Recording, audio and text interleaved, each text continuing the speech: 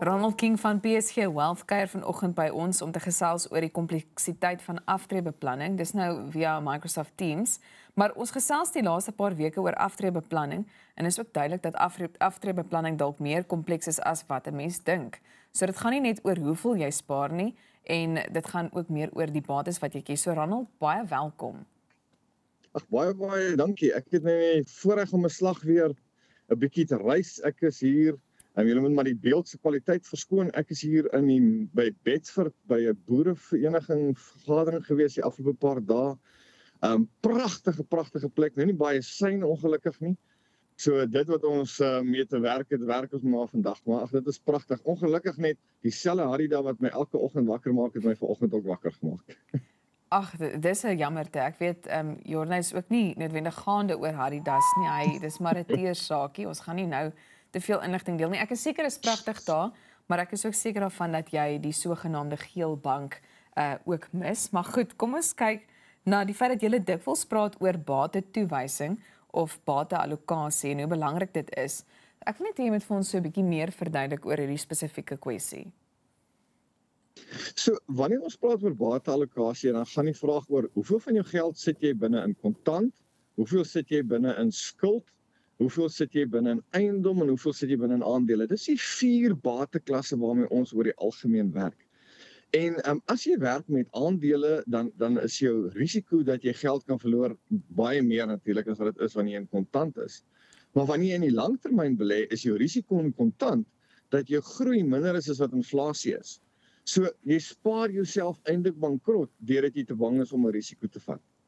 En dit is 'n baie baie belangrike aspek. As ons kyk na aftreebeplanning, dan praat ons van en ek nou al in die verlede gesê, jy weet dat ons tot 125 kan word, dan sit jy met die situasie waar ehm um, jy 'n lang spaarperiode het, 30, 40 jaar en ons kan nie vir 'n 30, 40 jaar in kontant belê nie. So een van die belangrikste goed wat ons moet besef wanneer ons besig is met ons aftreebeplanning, is dat ons 'n klein bietjie meer aggressief in daardie fonds moet belê dat ons meer aandele in daai portefeulje moet sit en dit is een van die grootste foute wat ek gereeld sien wanneer ons werk met mense se aftreebeplanning. Um baie ouens sê vir my nie maar my uitreaniteit is 'n swak belegging geweest. Dan kyk ons en dan was dit 100% in kontant. So dit is vir my bateallokasie is die belangrikste besluit wat jy maak wanneer jy met jou aftreebeplanning besig is.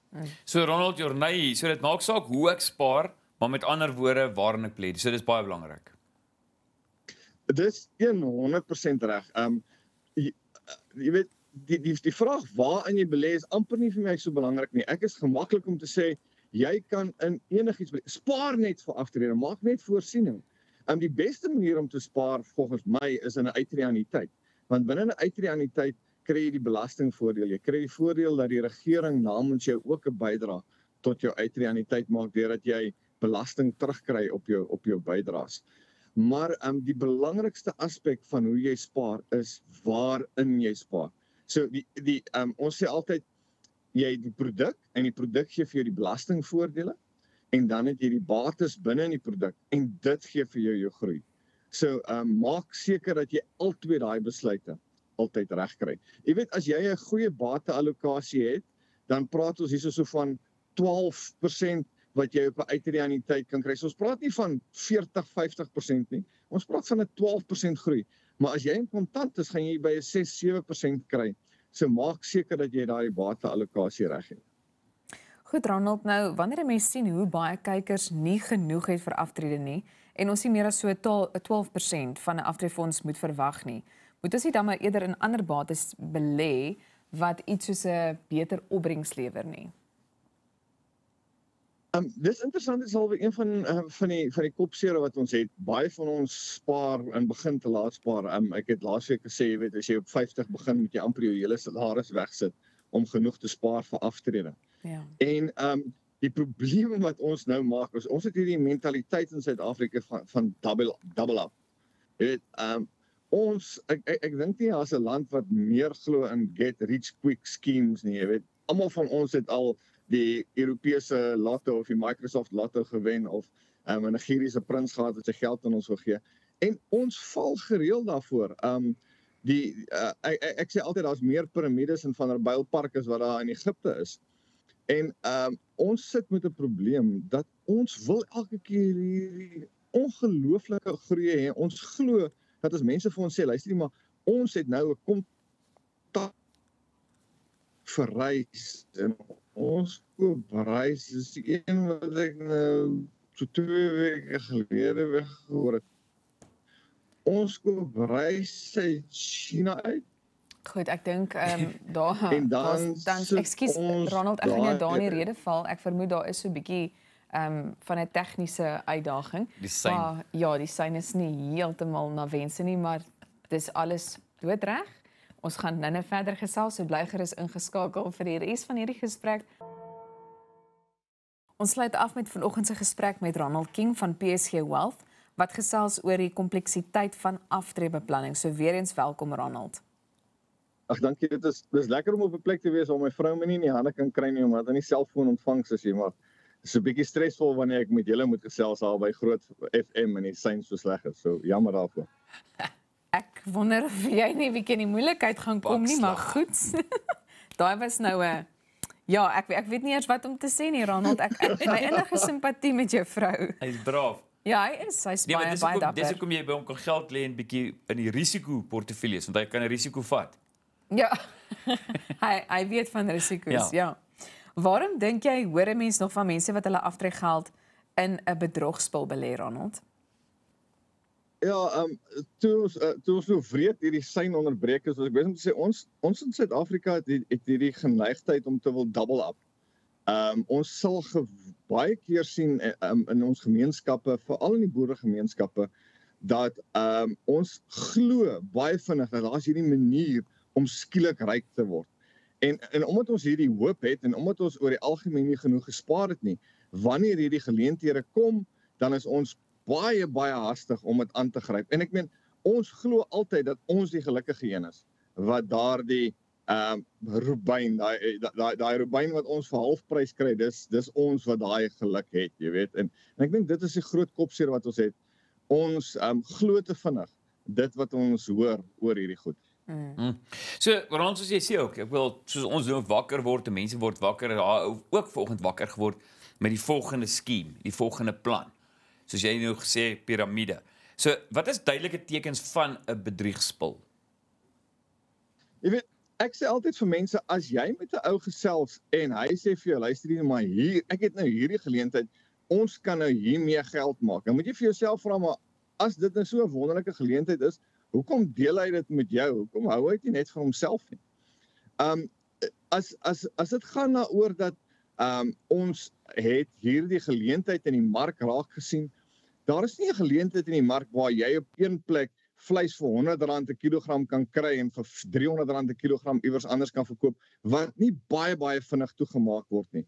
'n Week, 2 weke is is die maksimum wat hierdie ehm um, wanbalanse in die ekonomie regtig aangaan. So as jy in 'n situasie is waar 'n ou vir jou vertel nee vir die volgende 6 maande het ons hierdie wanbalans, dan is hulle besig om vir jou te jok. As hulle vir jou 'n opbrengs hier van bo 15% gee, moet jy weet Ehm um, jy begin nou hier in 'n in in in in in redelike moeilikheid ingaan. As hulle vir jou begin vertel maar ons is besig om hierdie en hierdie en hierdie struktuur te gebruik op die beurs om die, die wins op te stoot, weet dat die risiko op daai ding is van so 'n aard dat jy amper nie 'n kans het om jou geld terug te kry nie. Mm. Ehm um, en ek ek het eendag by 'n boer gesit en sê hy vir my die manier wat jy weet of dit 'n 'n 'n skema is, 'n piramide is of nie, is kyk na die man se skoene. As daar gate in is, dan weet jy dis nie 'n regte storie waarmee hy met jou praat nie. Goed Ronald, kom ons wees eerlik. Ek meen wanneer ek 'n uh, besigheid het of byvoorbeeld ook in die geval van 'n boer, gaan 'n mens baie meer verdien as die aftreefondse 12 aftreefondse 12%. So die vraag is dan, moet ek nie liewer my spaargeld in my eie besigheid belê nie? Jy's heeltemal reg Elsa. Um, as jy jou eie besigheid hardloop, gaan daardie besigheid vir jou hopelik 'n opbrengs gee wat beter is as wat jy in enige belegging kan kry. So ons praat nie net hier van 'n aftreefonds nie. Ons praat van enige belegging aan buitekant. Jy behoort beter te doen met jou eie besigheid. As jy nie beter doen met jou eie besigheid, is jy nie bedoel om in besigheid te wees nie. Maar jou probleem met jou besigheid is tweerlei. In die eerste plek is dit is hoër risiko. Ek meen ons het nou vir die eerste keer en dit lyk ongelooflik mooi hier buitekant. Vir die eerste keer in 'n lang tyd wyd verspreide reëns oor hierdie land. Maar vir die afgelope 9 jaar is hier boere wat al hulle geld moes gebruik het en geen opbrengs gehad het uit hulle boerdery nie. En dan die tweede ding wat ons baie keer sien ook in die boerige ehm um, boeregemeenskap en ons het gisterand met die boere hier baie lank weer daaroor gesels, is dat hulle nie die onderskeid tref tussen hulle en hulle besigheid nie. En omdat hulle 'n beter opbrengs uit hulle besigheid uit kan kry, stoot hulle al hulle geld elke dag meer en meer binne hulle boerdery in. En dan wanneer hulle die dag aftree, dan kom hulle agter maar ons het ooit nooit enigiets buite die boerdery vir onsself gespaar nie. Nou neem ons kinders oor en daar's niks vir ons waarmee ons kan kan voortgaan nie. Mm. Hoor jy Ronald net so vir die, vir die laaste vraag, waar het jy gesê sit jy? Ek sit in Bedford, dis daar naby Adelaide in die in die Oos-Kaap, um uh, by die Mills Cricket Ground. Dis klaar blyklik die oudste um cricket um gronde in Suid-Afrika. Hulle speel hier um teen Adelaide al vir ek dink 138 jaar een keer 'n jaar 'n groot cricketwedstryd en ehm um, Bangladesh het ook al klaar blyklik gespeel. So 'n pragtige pragtige omgewing. Mm. Goed, net laastens en ter afsluiting, ehm um, dit is werklik kompleks om reg vir aftrede te beplan. Ek dink dis swaar voor die hand liggend na aanleiding van wat jy alles vanoggend met ons gedeel het. Maar wanneer 'n mens op soek is na adviseur om 'n om 'n mens te help, uh hoe weet jy met watter kundige jy moet kontak maak en ja, hoe kom ons Hoe hoe bekom ons meer inligting? Ja, so ehm um, ons gaan volgende donderdag ehm um, gaan ons 'n bietjie gesels. Ongelukkig ehm um, is ek dan nog steeds aan die reis, maar dan ek dink in Kaapstad dan sou die seinbord 'n bietjie beter te wees. Maar ek wil 'n klompie van die vrae wat ons ingekry het van ons luisteraars volgende week in donderdag antwoord. So as daar nog enige vrae is, ehm um, wees um, stuur asseblief vir my na na ronald.king@psg.co.za. Daai vrae gee deur. Ek het al so 3 of 4 goeie vrae gehad.